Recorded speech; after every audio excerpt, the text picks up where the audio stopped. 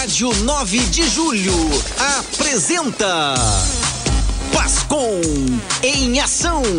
Apresentação Padre Christopher Velasco. Falar com coração,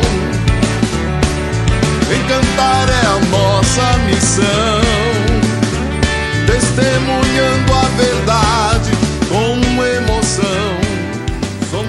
Hoje o programa Pascom em Ação tem uma participação muito especial aqui nos estúdios da Rádio 9 de Julho.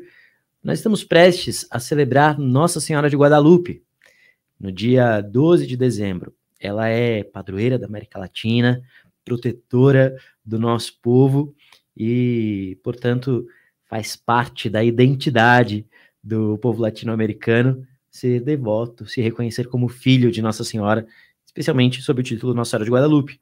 E hoje quem vai conversar com a gente um pouco sobre esta devoção, também como como propaga esta devoção, sobre o seu trabalho, é o nosso convidado Francisco Irota, CEO do Grupo Irota, um empresário cristão que está aqui conosco. Temos a alegria de recebê-lo.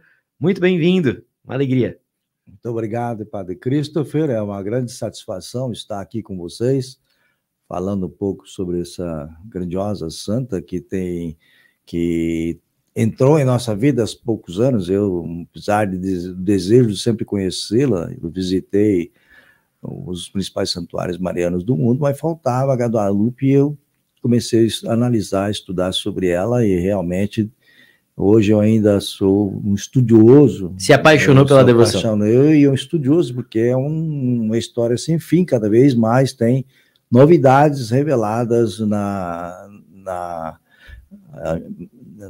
uma imagem, na né? imagem, no imagem que está uhum. lá, que alguns dizem que ela está viva lá. Então, realmente é um, uma satisfação muito grande fazer essa é, divulgação no Brasil. Sinto privilegiado por várias razões. Nós é, hospedamos em todas as nossas lojas a imagem 3D e holográfica que foi cedida pelo Santuário de Guadalupe e nos permitiu é, rodar em nossas lojas, e são poucas imagens que existem dessa no mundo, e nós fomos agraciados. Tem uma no Brasil que roda as empresas brasileiras, e nós fomos agraciados em toda, em toda a nossa rede de supermercado, e também, é, com certeza, interferência dela, né, eu sofri duas cirurgias em, no ano passado, em março e em setembro, e nessas duas, duas cirurgias é, que eram consideradas muito arriscadas,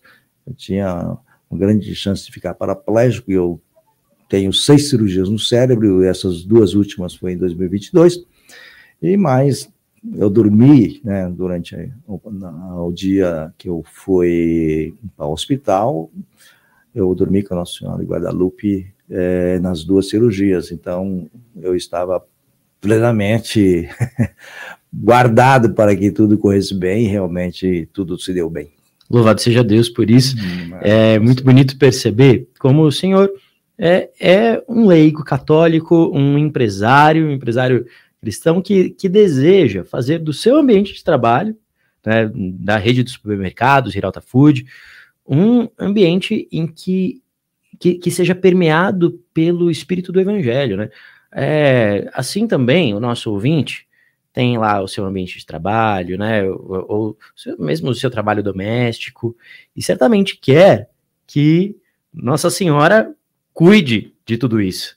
Né? Como fazer isso? Como é que o senhor faz para que uh, o supermercado, o escritório, seja um ambiente, porque trabalham ali pessoas de diversas crenças, né? Então, como, como, como faz para que seja um ambiente em que se, se experimente essa proteção, este colo materno de Nossa Senhora?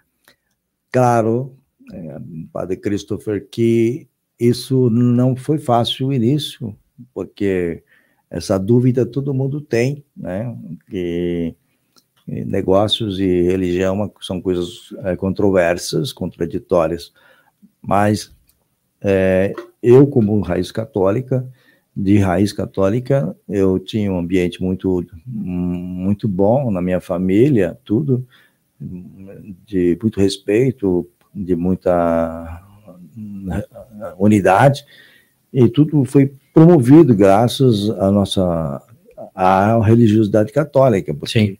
Porque é, principalmente nós empresários é, nós temos os, fortes as concupiscências humanas, né? então é, o poder, o dinheiro e, e Tudo isso vem como tentação. Então, é muito forte. É, Primeiro, o poder, quando você é empoderado, você acha que o dinheiro é mais importante para poder comprar tudo, comprar as coisas materiais, aí compra as mulheres e faz. né? Então, as concupiscências são muito fortes.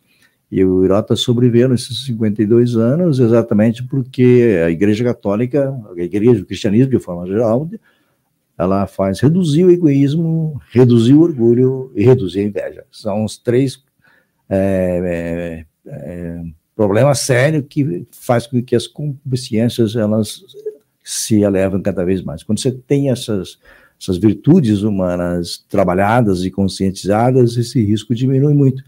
Então, nós, daquela situação que a gente tinha uma tranquilidade familiar, tinha uma situação financeira, a gente falou, peraí, a gente precisa dividir isso com outras pessoas. Foi um grande sacerdote, amigo da família, que esteve, inclusive, na festa do Irota ontem, tem 83 anos, Padre Brito, lá do, do Nosso Senhor do, do Piranga, que ele alertou, falou, ele conheceu bem o meu pai, meu pai é, viajou várias partes do mundo, ele só trabalhava, viajava nos lugares santos, e ele levava o Padre Breto, e eles, ele re, revelava as coisas para ele, até mais do que para nós, da família. Então ele sabe muito particular do meu pai, Sim. e os desejos íntimos dele e tudo mais. Então, Padre Brito fez com que a gente escrevesse um livro. Meu pai nunca deixou de escrever o livro em vida, mas depois que ele faleceu, nós já tinha essa intenção, conseguimos escrever o livro dele. E logo em seguida, é, o Padre Brito me chama e fala: agora nós temos que levar a cultura do Irata para o mundo. Mas como assim, Padre Brito? O Irata é um modelo para empresas do mundo. A gente vamos apostolar na empresa. Foi um choque muito grande né, e Sim. começar a apostolar nas empresas. Quem sou eu, né? Mas, com a graça de Deus, começamos a apostolar em 2012, mais ou menos. E muito difícil no começo, as pessoas não entendiam, Não as aceitavam pessoas achavam exatamente o sentimento da grande maioria dos, dos cristãos empresários hoje, é que eu digo que são Acha que, que, a- que uma coisa é a vida cristã, outra coisa é a vida profissional, né? Como, como se fossem duas vidas. exatamente, que eu chamo de católico Nicodemos, né? Sim. porque tem, pessoalmente, até uma, uma- uma convicção religiosa, mas tem medo de expressar. Sim. É o É, na calada caso- da noite. É, na calada da noite, Sim. sabe? Mas na, na luz do dia, não, eu não conheço esse cara. Então, mais ou menos isso, né? É porque o secularismo é muito forte, o secularismo domina as mentes da maioria das pessoas e empresas, né? E fomos fazendo esse trabalho, sabe? Aí fui convidado pelo fundador da primeira pastoral do empreendedor, Frei Rogério, em Salvador, em 2014. Fiz uma palestra para 300 empreendedores da- na pastoral. E hoje essa pastoral está sendo fundada no Brasil inteiro. E o Frei Rogério, de, com certa frequência, me chama para fazer essas as, as minhas apresentações do que Quirota faz nessa área, como quais são os resultados. E a gente faz isso no Brasil inteiro. Inclusive, agora no mês de outubro, nós fizemos aqui na Madre Paulina para o pessoal da pastoral, não os- da pastoral dos empreendedores do Brasil inteiro, eles vieram e a gente fez uma palestra para eles. É, é a santificação do trabalho, né? O, o- espiritualizar aquilo que é muito material, né? Não é Hum. con- Encontrar Deus no meio das realidades mais materiais, nas realidades mais ordinárias. Exatamente.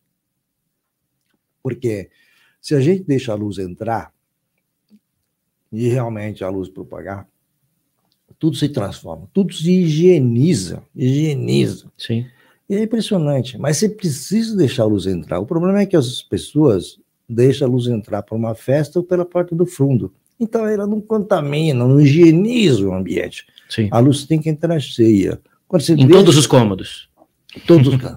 Sim. Então, todos aqueles cantos que tá estão lá sujinhos, quando entra aquela luz verdadeira, ela É higieniza tudo. E Nossa Senhora é fundamental para isso, né? A devoção a Nossa Senhora. Ah, Nossa. E- e, pelo que eu entendi, então, o senhor já tinha isso antes da devoção de Nossa Senhora de, Nossa Senhora Guadalupe, né? eu, era, eu sou devoto de Nossa Senhora Aparecida. Sim. Teve, há muito tempo. Nós, o título, a devoção a Guadalupe entrou depois na história. Tudo depois, porque eu comecei a estudar as aparições de Nossa Senhora Sim, pelo mundo. disse, Visitei os grandes santuários marianos do mundo.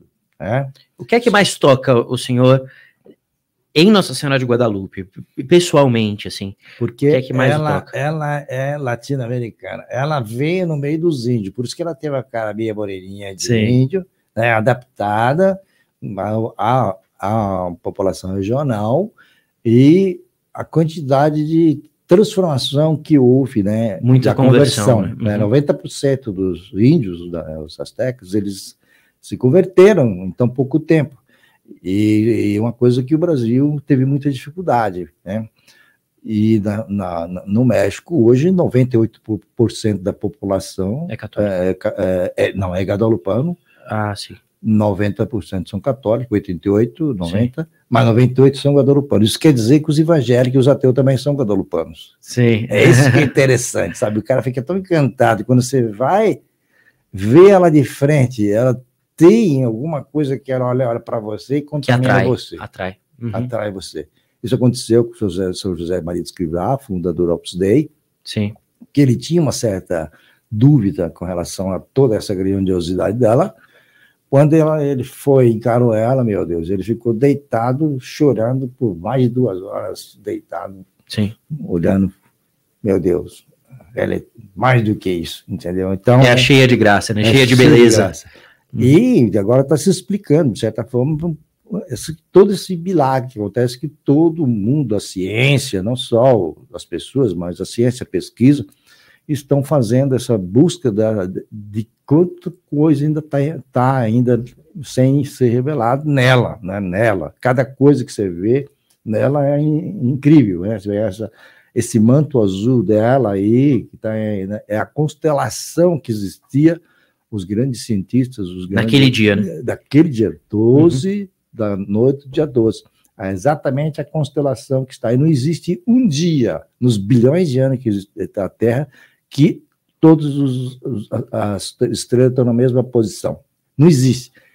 É to, todo dia tem uma constelação diferente, porque de alguma forma é um pouco diferente. Há um movimento. Uhum. Nessa estudo da NASA, tudo confirmou que esse dia é o dia 12 de outubro de 1500, 12 de dezembro de 1531.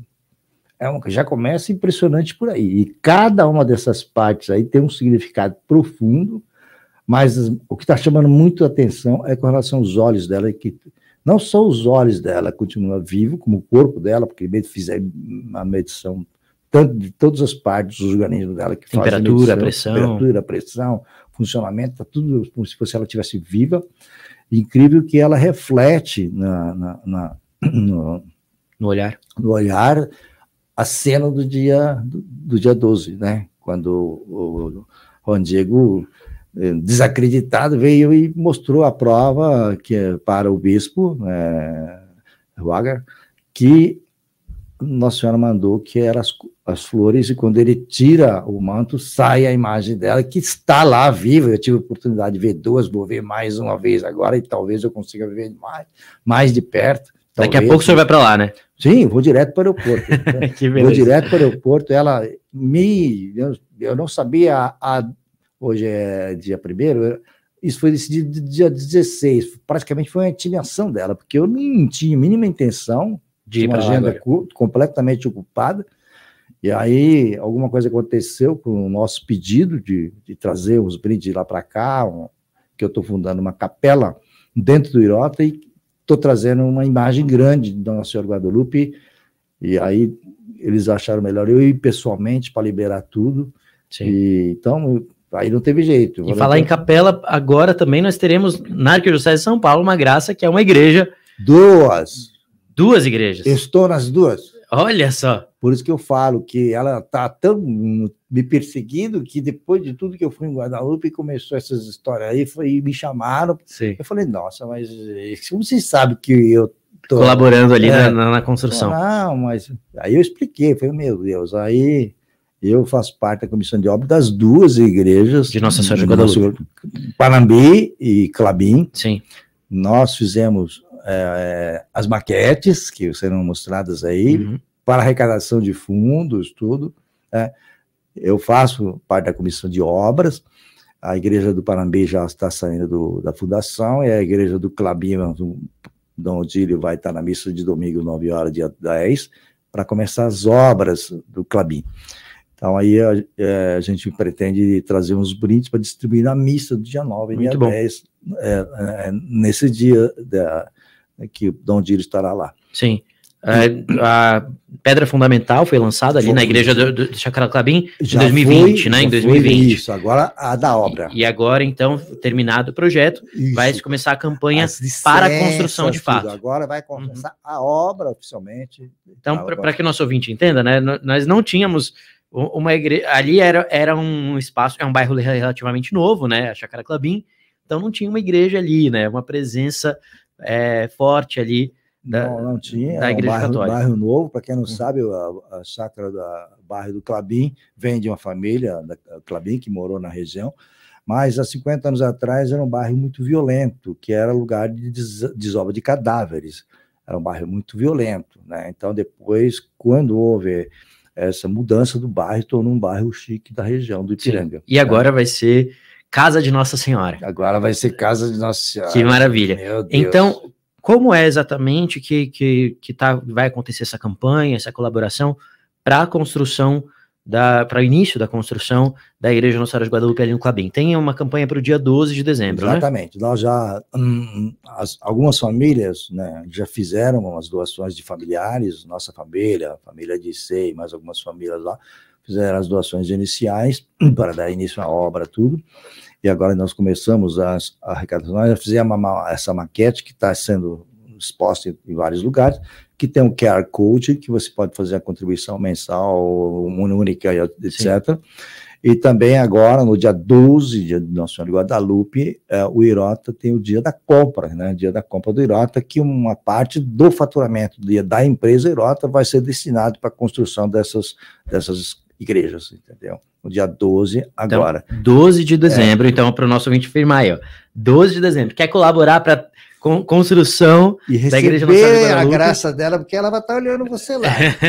então, onde é que tem as lojas? Tem, tem várias unidades, Ixi, né? Mas é, tem, tem muitas unidades temos, em São Paulo. é, total dá mais de 150. Mais de 150. É, são 18 lojas do supermercado, mais 20 da loja do, de conveniência e 120 lojas de condomínio e dentro das grandes organizações que chama Irota Office, dentro na, do, da sede do Banco Itaú, são três lojas, dentro da sede do Banco Bradesco, dentro da sede de Santander. Então, nós temos, dentro da sede das grandes empresas, nós temos várias lojas. E os grandes condomínios de São Paulo, já temos quase 120 então, lojas. Muito bom. E também é, todos estão convidados para a missa do dia 10, às 9 horas da manhã, presidida pelo cardeal Dom Odilo Pedro Scherer, lá no, no- onde vai ser, né? Aonde vai ser? Onde Ah, vai, ser a igreja Nossa Senhora de Vai Guadalupe? ser a última missa, que lá no tenda, porque nós vamos remover, vamos passar a tenda para outro lugar e vamos começar. Nós já hoje já está fazendo o estudo de sondagem do solo, né? Aquelas, para quem passa lá e não entende o que, que é aquela máquina que está furando lá, é para Sim. ver a resistência do solo e que tipo de fundação temos que fazer ali. Depois, logo depois, então, nós vamos começar realmente a fundação, que vai ser a parte que ninguém vai ver. A fundação é a parte mais ingrata para O pessoal acha que não está acontecendo nada, não né? acontecendo nada, fica tudo enterrado, mas, Mas é, está a, acontecendo. é, mas é a parte mais, mais importante, E, cara, até que isso está no evangélico, Sim. né? Isso está no evangelho. e Quem, quem constrói sobre Areia, areia não, não vai a casa cai. Ah, então, ah, o terreno é na rua Lorenzo Vala, número 251. Rua Lorenzo Vala, número 251, esquina com a rua Ernesto de Oliveira, lá na chácara Clabim. E você também pode ouvir ah, mais sobre a história do senhor Francisco Hirota no programa Construindo a Cidadania.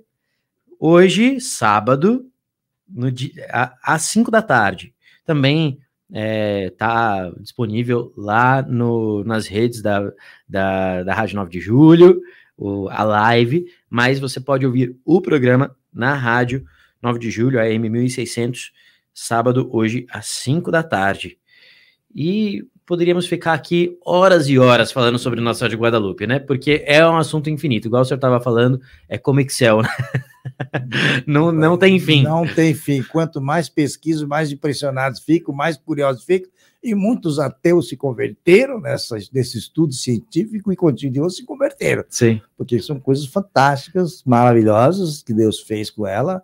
É, eu acho que ah, foi a, a, a, aparição da Nossa Senhora mais assim que, que continua intrigando, apesar de Nossa Senhora de Fátima, todas aquelas coisas que aconteceram com, com o Sol, nosso Garamandal, Medjugorje, que são as últimas, mas assim que, que deixa ainda todos é, boquiabertos, assim. provocando uhum. ainda Sim. a humanidade é ela, né? é. porque o manto está lá mais de 500 anos e um manto que está lá, indubitável, né? Cinco, seis anos ele se desfaz completamente e está perfeito e não existe uma explicação científica científica de que o que, que é aquilo. Se é, é milagre, é milagre. Se é, se é pintura, se é, é, foi tecido com bordado, ninguém sabe. Ninguém sabe. A tinta flutua, né? flutua, flutua, flutua e realmente é uma coisa extraordinária, Maravilha. porque ela realmente é um. Eu acredito que Nossa Senhora, claro, em todos os lugares, mas lá ela continua dando a mensagem para o mundo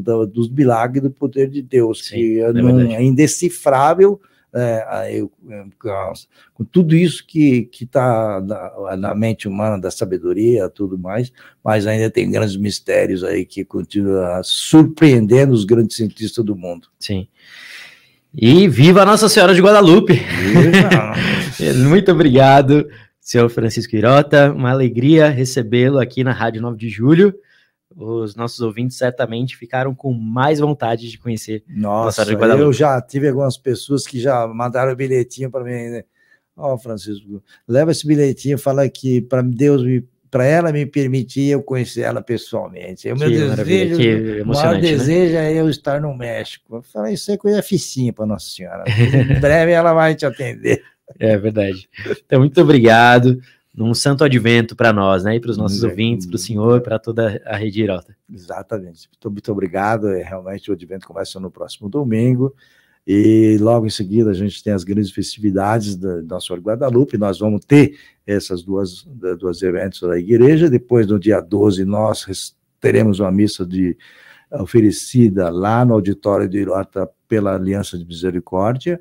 E no dia 17 eu faço, porque eu tenho a capela no meu sítio, né? Capela uhum. Nossa Senhora Guadalupe Nossa Senhora Aparecida, e que nós vamos fazer agora dentro do Irota, mas eu tenho. Tem uma missa sítio, lá também. É, e aí eu chamo todos os trabalhadores fazendeiros vizinhos para fazer a vai fazer uma missa no dia 17, lá em Sarapuê, com na Nossa Senhora de Guadalupe também. Muito bem, entrevistamos aqui, conversamos com Francisco Irota e Vamos então cultivar a nossa devoção à Nossa de Guadalupe. Muito obrigado, Deus abençoe. Muito obrigado. Falar com coração, encantar é a nossa missão, testemunhando a verdade com emoção. Somos a pastoral